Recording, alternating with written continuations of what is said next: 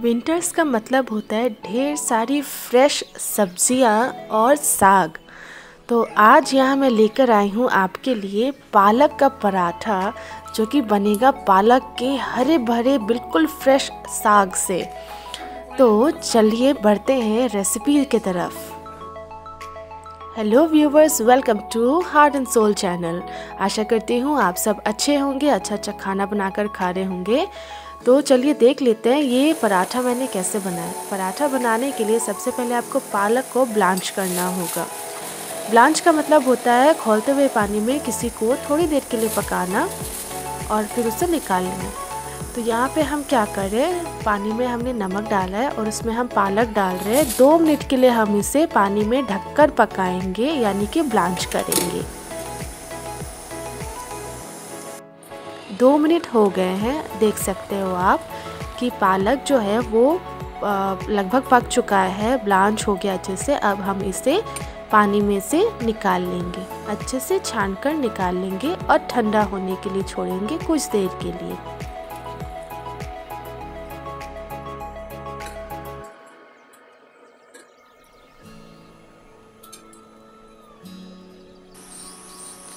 यहाँ एक कटोरी पालक निकला है, इसे हम थोड़ी देर ठंडा होने के बाद इसमें हम दे रहे आधा इंच जितना अदरक और तीन मिर्ची। अब हम इसका प्यूरे बना लेंगे।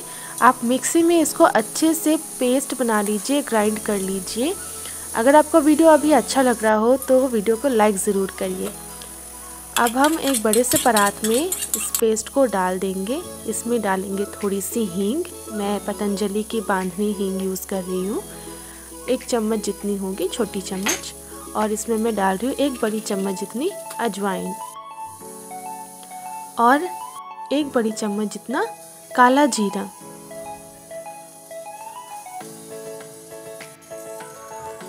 अब अनुमान से आप इसमें आटा डालिए, जितने में इसका अच्छा सा एक सॉफ्ट डो तैयार हो सके। पहले आप थोड़ा सा आटा डालिए और इसमें एक चम्मच नमक भी डालिए ताकि वो टेस्ट बरकरार रहे, क्योंकि हमने जो पालक उबालते वक्त नमक डाला था, वो तो पानी में रह गया। इसमें भी नमक की ज़रूरत है, इसलिए मैंने यहाँ पे एक चम्मच इसमें नमक डाला है। थोड़ा थोड़ा करके आटा ऐड करिए और उसे मिक्स करते जाइए अच्छा सा एक डो बनाने के लिए। मैं यहाँ थोड़ा थोड़ा आटा यूज़ कर रही हूँ। एक बॉल पालक ब्लांच करने के बाद अगर आपको मिलता है एक बॉल तो उसमें कम से कम आपको ढाई से पौने तीन कप आटा लग जाएगा ताकि आप उससे अच्छा नरम डो तैयार कर सको। मेरा डो अच्छा तैयार हो गया है, अभी नरम हो गया है और मैं इसे थोड़ी देर के लिए रेस्ट करने के लिए छोड़ दूँगी। मैंने 15 मिनट रेस्ट दिया था आटे को और उसके बाद में इसकी लोइयाँ निकाल रही हूँ। इतने से आटे में मतलब पौने तीन कप आटे में मेरे यहाँ पे 12 से 13 लुई निकली है। थोड़े बड़े बड़े लुई काटे हैं क्योंकि हम इसका पराठा बनाएँगे। तो पहले हम इसे थोड़ा रोटी से थोड़ा मोटा हमें बेलना है। आप चाहे तो इसे चार फोल्ड में भी बना सकते तीन फोल्ड वाला भी पराठा बना सकते हो। मैं यहाँ पे सिंपल रख रही हूँ मैं बस इसे रोटी की तरह बना ले रही हूँ बट उतना पतला नहीं रोटी के जितना पतला नहीं थोड़ा मोटा बना रही हूँ। और इसे मैं पराठे की तरह सेक दूँगी। बहुत ही सिंपल रेसिपी है। अगर आपने मेरे चैनल को सब्सक्राइब नहीं किया है तो ज़रूर सब्सक्राइब करें। मेरे चैनल पे आपको ऐसी सिंपल रेसिपीज़ बहुत सारी मिल जाएँगी, जो कि आप डेली बना सकते हो डेली खा सकते हो, और बहुत ही हेल्दी रेसिपीज़ आपको मिलेंगी।